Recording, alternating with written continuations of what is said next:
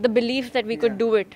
But the way we both were going, but unfortunately, I lost my wicket there, and you know, wickets fell at the end. But one thing is for sure that the way we played against Australia, I think we can be very proud of ourselves.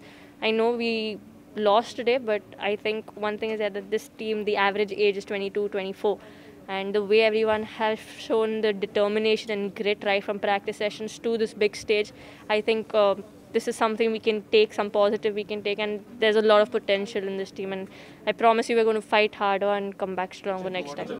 I think today mm, we played really well for the fact that we kept Australia till 160. It, it's a it's a really good thing and the way they were going and all. I think we bowled really well, we batted really well, we fielded really well. Just in the matter that the crucial moment, you know, those little things that which we could have done better. I think that didn't go our way, but I think you know we're ready to take them on every single time we're out there, and they also looked under pressure. So I think that's a that's also a victory for us.